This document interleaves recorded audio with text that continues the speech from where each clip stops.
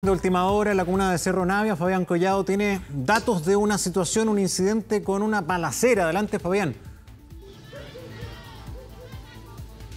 Exactamente, Gonzalo, donde una persona que no tenía absolutamente nada que ver está gravemente herida por un impacto de bala en su cabeza. Todo esto comienza cerca de la 1.20 de la tarde en Salvador Gutiérrez con eh, Neptuno, eh, cuando Carabineros se percata de un vehículo el cual eh, tenía encargo por robo. Por eso es que inmediatamente intentan fiscalizarlo, pero se da a la, fuga y se genera una persecución policial por diferentes calles del sector. Aquí en Miguel de Cervantes, con la calle Cerro Navia, una persona, un vecino, estaba cruzando en su bicicleta cuando recibió un impacto de bala que se desconoce hasta el minuto si es eh, de los eh, delincuentes o de los propios eh, carabineros. De hecho, quedó tendido en el piso, fue atendido, rápidamente trasladado hasta un recinto asistencial, el SAPU local y posteriormente hasta la posta 3, donde se encuentra en estado eh, de gravedad. Además, a pocas cuadras eh, de este lugar, uno de los eh, delincuentes resultó herido con un disparo en el glúteo y fue detenido por parte de la policía, llevado hasta el mismo recinto asistencial mencionado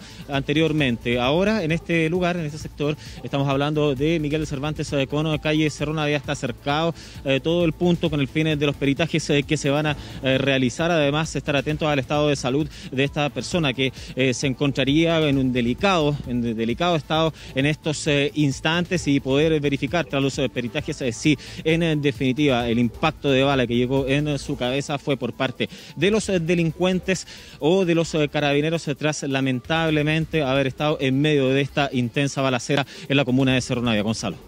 Muy bien, Fabián. Eh, bueno, seguimos atentos ahí al desarrollo de esta noticia. Gracias por los datos. Muy buenas tardes.